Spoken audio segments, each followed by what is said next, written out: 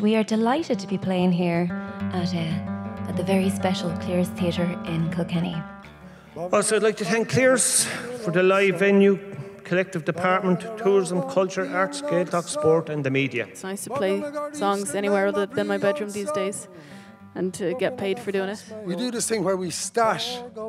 It's like stashing emotional bubbles inside ourselves and we attach them to songs. It's nice to arrive in here today and to feel the life being breathed back into the place. It's the second time this year I've played a gig to three cameramen and a sound engineer.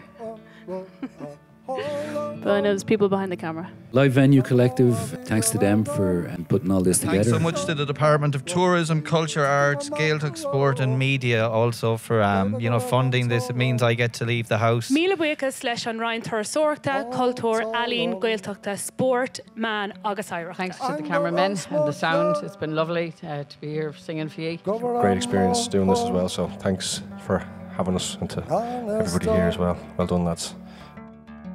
It matters to so many of us because so many of us would have just sat. Thanks a million.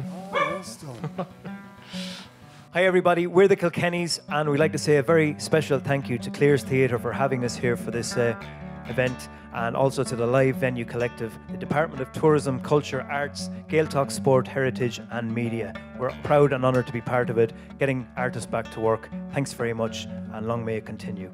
God bless. It's been a long, a long few years since March 2020, and it's a pleasure to be getting back to it some way.